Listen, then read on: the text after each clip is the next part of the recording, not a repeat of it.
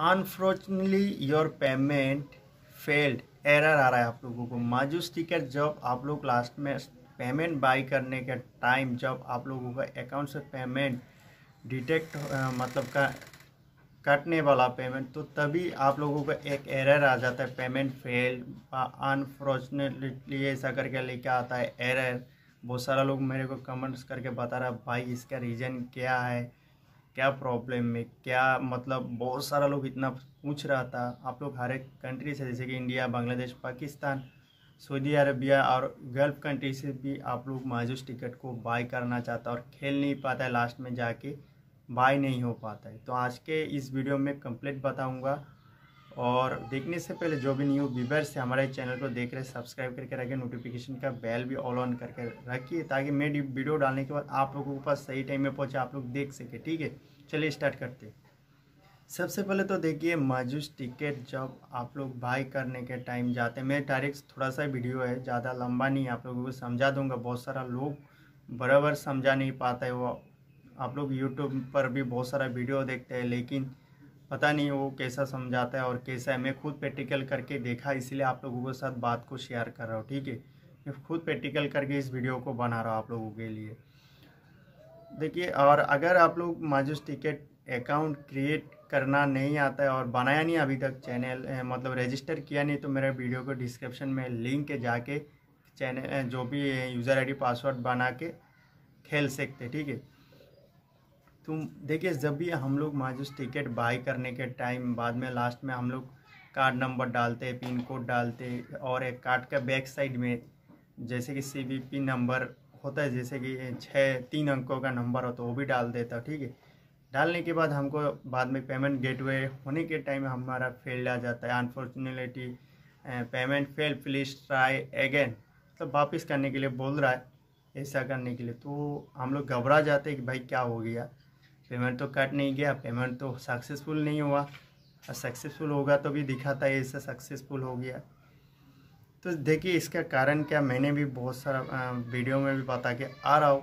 सबसे पहले तो एक एक ही बात आता है इम्पोर्टेंट क्या है? बाई करने में जाते हैं और माजूस टिकट जो जो है ये दुबई का है यूनाइटेड अरब एमरेट्स में खेला होता है, ठीक है? उस कंट्री का है। तो हम लोग सऊदी अरबिया बांग्लादेश पाकिस्तान और कोई भी अदर कंट्री ठीक है? सिर्फ़ यूएई छोड़ के, दुबई छोड़ के, बाकी जो कंट्री से हम लोग खेलते हैं तो ऐसा प्रॉब्लम आता है। यूएई के अंदर जो भी लोग खेलता है, और उन लोगों को भी ज़्यादातर ऐसा नहीं आता है ऑनलाइन अगर खेलना चाहता है तो ठीक है? वो उधर का एक कंट्री है, उधर कुछ दिक्कत नहीं होता और होगा तो भी वो बाई कर लेता है ऑफलाइन में भी मिलता है टिकट अवेलेबल उसका मशीन भी बैठ गया जगह जगह पर। आपको मशीन से भी लेके टिकट बाई कर सकते ऐसा बहुत सारा ब्रांचेस बैठ गया ठीक है? दुबई के अंदर यूएई के अंदर। तो सबसे बड़ा सबसे बड़ा इम्पोर्टेंट आता है, देखिए, अपना अपना जो भी बांग्लादेश, नेपाल, पाकिस्तान से आप लोग अपना बैंक खाता से खेल रहा है, जो भी आपके पास डेबिट कार्ड है, ठीक है? ये डेबिट कार्ड जो है, वो इंटरनेशनल एक्टिविट होना चाहिए और इंटरनेशनल कार्ड भी होना चाहिए। सबसे बड़ा इम्पोर्टेंट इसमें आता है, ठीक है? इसीलिए आप लोगों को पेमेंट फेल्ड आता है, ठीक है? तो जैसे कि वीज़ा मास्टर कार्ड तो एक्सेप्टेबल सब जगह पर होता है, लेकिन यहाँ पर कार्ड में भी एक इंटरनेशनल एक्टिविटी ट्रांजेक्शन ऑन करना पड़ता है। आप लोगों को बैंक में जाके भी ऑन करना पड़ता है, ठीक है? तो मेरे पास जो भी कार्ड था, मेरा इंडिया का एसबीआई का कार्ड था, मैंने खुद एक वीडियो बनाया स्टडी एस इंटरनेशनल कैसे एक्टिवेट करते हैं, ठीक है? इंटरनेशनल कार्ड तो उसका भी वीडियो डिस्क्रिप्शन में लिंक है, जाके कैसे एक्टिवेट अगर आप लोगों को ऑनलाइन करना आता है तो आप लोग आप लोगों को कोई भी खाता हो सकते हैं बैंक हो सकते हो तो आप लोग ऑनलाइन भी इसको ट्रांजेक्शन, अगर इलिजिबल मतलब इलिजिबिलिटी रहना चाहिए इंटरनेशनल आपका कार्ड में है क्या नहीं है, ठीक है? वीज़ा मास्टर कार्ड में रह जाता है। अभी तो रुपए में भी आ गया इंडिया का बात कर रहा हूँ। तो अपना अपना कंट्री से जो भी कार्ड है आपको इंटरनेशनल देख लीजिए एक्टिविटी ऑन है क्या नहीं है, ठीक है? आप लोग घर बैठे भी इंटरनेशनल एक्टिविटी कर सकते हैं मैसेज के द्वारा, ठीक है? इसके बाद आता है कि देखिए और भी बहुत सारा मिस्टेक प्रॉब्लम करते हैं क्या? बहुत सारे लोग, आपका जो भी कार्ड आप लोग इंटरनेशनल एक्टिविटी करने के बाद भी आप लोग खेल नहीं पाते। आपका जो भी डेबिट कार्ड आपने सही ढंग से नंबर एक एक करके डालिए ठीक है? सिक्सटीन डिजिट जो भी कार्ड नंबर होता है फ़ोन में फ़ोन साइड में इसमें वैलिडिटी लिखा रहता है, वो भी सही से ही डालिए। और कार्ड बैक साइड में जो होता है, तीन अंक का नंबर होता है।